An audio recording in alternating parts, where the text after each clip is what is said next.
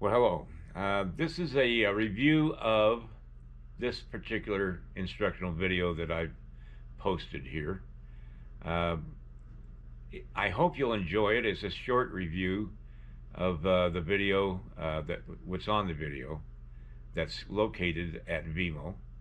At the end of this video, I will show you how to purchase a video. Creating uh, armatures for both the uh, horse, the uh, dog, and the human. And the reason I uh, chose to do one of the uh, dog and the uh, horse is because animals uh, are different than humans in creating armatures and you have to know how to do it. And once you learn the basics of creating armatures for uh, animals, then you can pretty much make it for any animal that you want to choose. Uh, it's just a matter of having the basic. Uh, here I am uh, doing the horse armature, and uh, I show you uh, pretty much uh, how to get it started and all that with the a simple, small sculpture of a horse, and I'm using baling wire, which is a uh, wire you can get at a hardware store, and uh, it's a thin steel wire that uh, comes in a huge roll, and it's uh, about under seven dollars for a, enough wire to last you forever.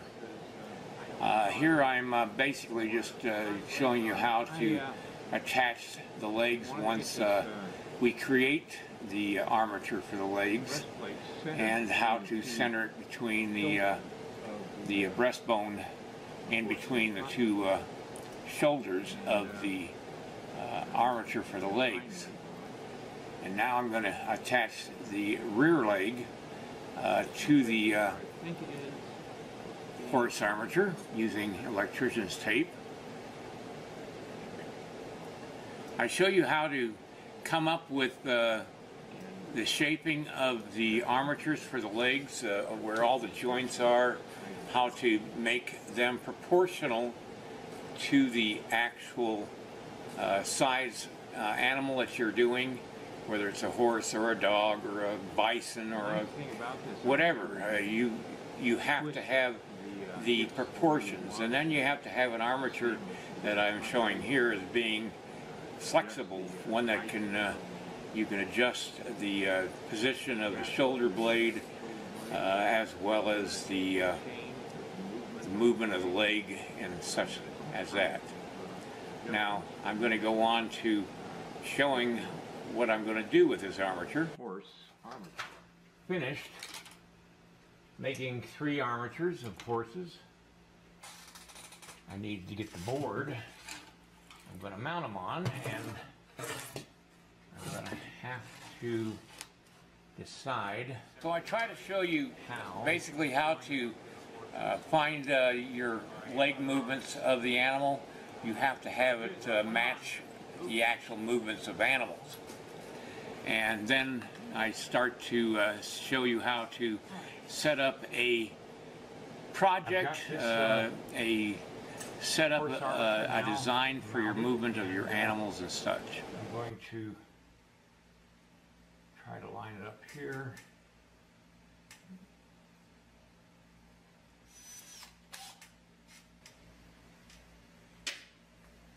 Now you can take each one of these clays and put it on directly on your sculpting stand or your board that you sculpt on and you can uh, work on each horse individually. An episode in time. These horses are a moment in time.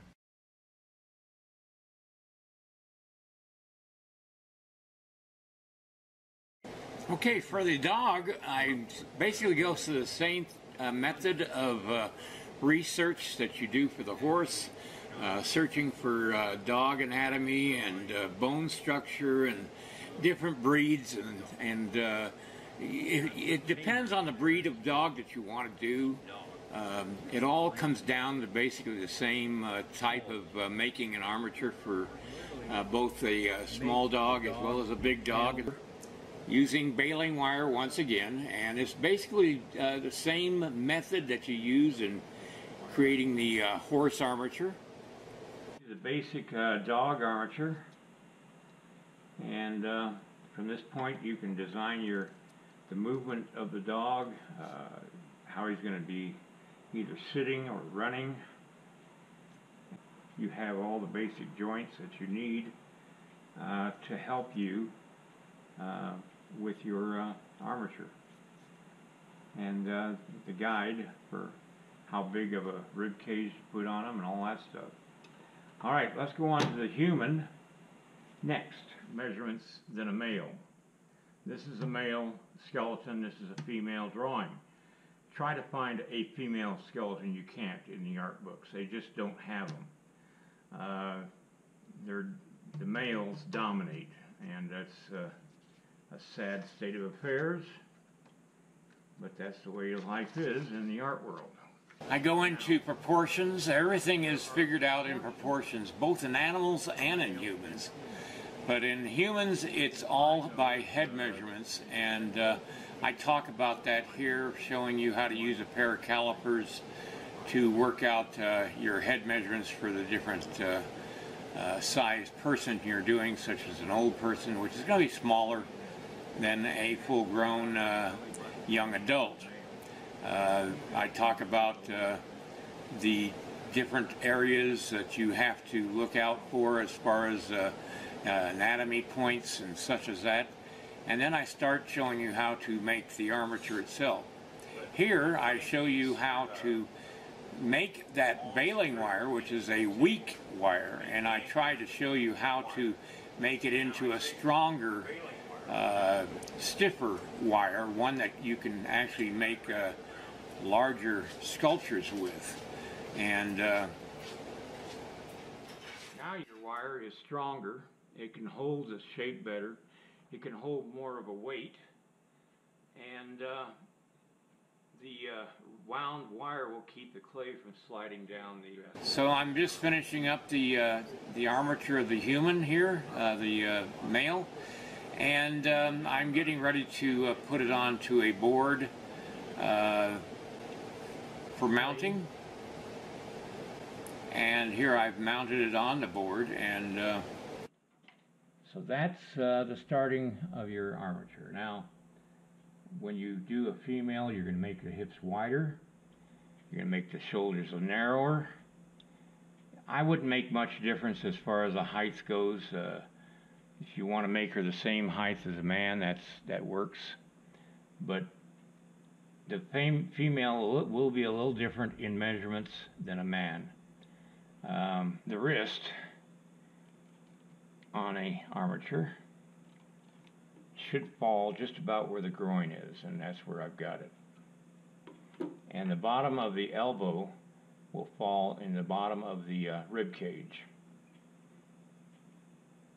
There's a lot of uh, material on online for uh, creating um, proportional figures, and I would suggest that you do a lot of research. It takes buy all the art books that you can buy, find on, on anatomy and on drawing the human figure because everything you gather will just increase your knowledge of what you're doing. All right, that's uh, going to do it for the armature of a human and uh, the uh, horse and as well as the uh, dog armature. I hope you've gained some insightful knowledge from all this. It's uh, something that I've been working on for nearly 50 years. My first armatures were, it, it, they cost me $20, $30 uh, to do an armature, and that was back in the 60s when, when uh, 400 bucks a month was what you made in living. So I had to figure out some way of doing armatures much cheaper. Now as far as the support for this, uh, you could use a, uh, a, wooden dowel like I did it with the, the horse. Um, and there's different ways of setting that up as well. And each figure and each design is going to take a different kind of uh, support. You can even get a, a thicker wire uh, to act as uh, your support as well. All right. Well, here's the segment where I tell you how to purchase your in streaming video off of Vimeo. This is just a temporary page right now because I haven't created the nine reviews of my current instructional videos uh, yet, and that's so. So this is just a temporary page, just to show you an example of what you're going to see when you come to this page. There's a link below my daily YouTube videos that will take you to this page, and here you will see uh, a all nine videos, but I don't have them on here right now because uh, I haven't edited them yet or created them yet. But uh, there'll be nine videos uh, on this page, right in this area here, and uh, you'll be able to scroll down the page and, and, and review them all. Um, up here to the right is a drop-down menu and will be listed all my videos. I just clicked a little arrow, down arrow up here, and it will be listed all my instructional videos here. And uh, it will, you click on the one you want to purchase. Let's see if I can do this. Uh, say I want to purchase that one, add to cart. And it's, it's all through PayPal and I've got two videos that I've got listed here already on my uh, PayPal pre-order. And uh, up here in the upper right there's a continue shopping. And I can drop down the menu and click on another video add to cart and automatically you got the uh, third choice. I've already made two choices and now I got a third choice and then once you get that done you click on the PayPal uh, button to continue uh, to the uh, checkout. That's how you purchase my videos.